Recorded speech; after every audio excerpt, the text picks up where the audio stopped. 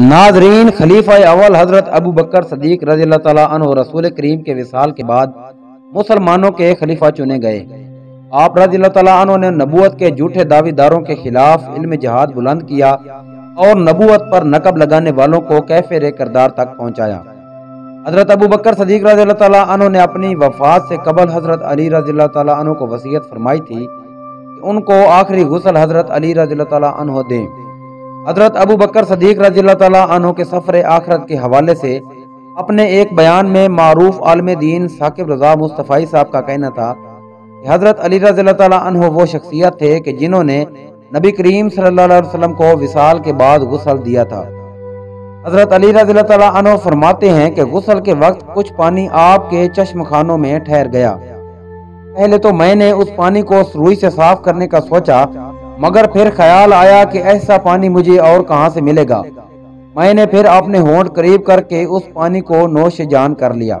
हज़रत अली रज़ी फरमाते हैं कि वो पानी नोश करने के बाद मेरा सीना अलूम मार्फत का खजीना बन गया।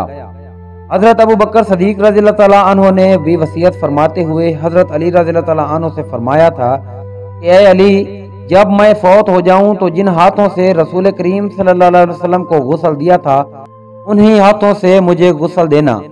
और ये भी वसीयत की कि मुझे नया कफन ना देना, मुझे फटे पुराने कपड़ों में कफन देकर दफन कर देना। इसलिए नए कपड़ों का हकदार मरने वाले से ज़्यादा जीने वाला है। फिर फरमाया कि जनाजा पढ़ने के बाद मेरा जिसद खाकी को उठाकर रोज़ रसूल के पास ले जाना और अर्ज़ करना, या रसूल अल्लाह सल्लल्लाहु अलैहि वसल्लम, ये अबू बकर है अगर उधर से हाजिरी का कोई इशारा मिल जाए तो फिर मुझे हजूर के कदमों में दफन कर देना, वरना जहाँ बाकी मुसलमानों को दफनाया जाता है, यानी जन्नतुल बकी में, फिर मुझे वहाँ दफन कर देना। हज़रत अंस बिन मालिक रज़ी तु से रवायत है, जब आप रज़ी तु का आखिरी वक्त आया तो हज़रत अली रज़ी तु भागते हुए आए, और आप रज़ी तु की जबान पर ये लफ्ज थे, इन्ना लिल्ला व इन्ना राजियून और आप रज़ी तु ने हज़रत अबू बकर सदीक रज़ी तु के चेहरे से कपड़ा उठाया और ये लफ्ज कहे, आज रसूल सल्लल्लाहु की खिलाफत हमसे जुदा हो गई। उसके बाद हज़रत अबू बकर सदीक रज़ी तु को गुसल दिया गया और गुसल देने के बाद आप रज़ी तु का जनाजा पढ़ाया गया और फिर मदीना अनवर की गलियों से घुमा कर अलैहि वसल्लम के रोज़ मुबारक के सामने रख दिया गया। और ये लफ्ज हज़रत अंस रज़ी के हैं। कहते हैं कि हम हाथ बाँध कर खड़े हो गए।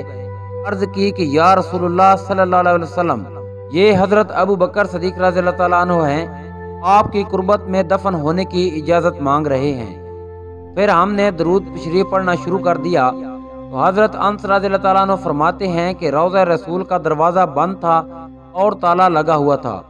अचानक ताला खुला और फिर कुंडी भी खुल गई। और दरवाज़ा खुल गया और अंदर से आवाज़ आई, यार को यार से मिला दो। जो पहले ही यार का इंतज़ार कर रहा है। हज़रत अंस रज़ी फरमाते हैं, नबी करीम सल्लल्लाहु अलैहि वसल्लम के कुर्बत में हज़रत सैदना अबू बकर सदीक रज़ी की तदफीन कर दी गई।